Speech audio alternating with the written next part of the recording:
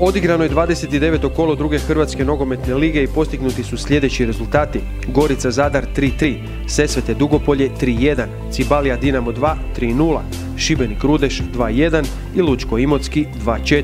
Da li je bilo iznenađenja, komentira trener Dragovoljca Davor Mladina. Pa ima, ima iznenađenja, prvenstveno mislim na utakmicu Gorica Zadar, gdje sam osobno pratio taj meč ali promatrajući situaciju na tablici i zadovoljstvo Gorice nakon određenog plasmana i rasterećeno Zadra s obzirom na mjesto na tablici, iznenađujući je zbilja rezultat 3-3. Ove druge utakmice vidim da je Cibalija dobila Dinamo.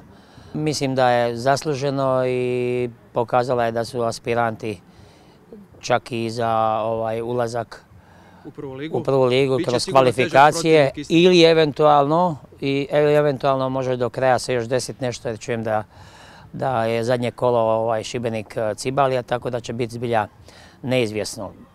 Šibenik, što se tiče Šibenika, pobjeda Rudeže 2-1, ozbiljna, tvrda ekipa sa dosta individualaca i dosta dobro oni plove, bez obzira na evo, velike promjene trenerske na klupama.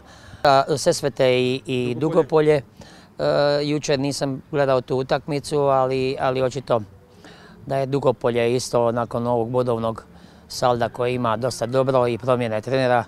Očito da su oni bili nekako malo možda i rastrešeni jer te promjene trenerske nekad mogu biti negativne. Mislim, Lučko Imotski, tako je. Čujte, Imotski je isto ozbiljna ekipa. E, to smo mi imali, vidjeli u zadnjoj u zadnjoj utakmici u Imotskom, ali Lučko isto imalo velike turbulencije u upravi, e, kako i na trenerskoj klupi i normalno je da je to moguće jedan efekt. Ovo je njegov četvrti povratak među crne ratnike.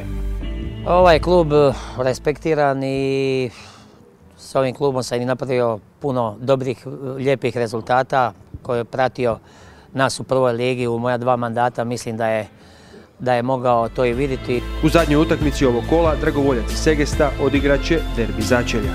Da se zakomplicirala situacija i to, i to dobro, znači sad više neće biti u pitanju pad klubova, nego će biti malte ne 5-6 klubova u, u, u konkurenciji za, za borbu, za opstanak. Ne znamo koliko će biti ovaj, klubova, koliko će ući u ligu, jeli, kakve su ovaj, kriteriji, jesu li zadovoljeni, nisu, ali to mi ne bi trebali gledati. Uglavnom, na nama je da, da sutra dobijemo utakmicu, a s ovim kolom su se zakomplicirali neki klubovi koji su imali konformnu situaciju, neizvjesno će biti im do kraja.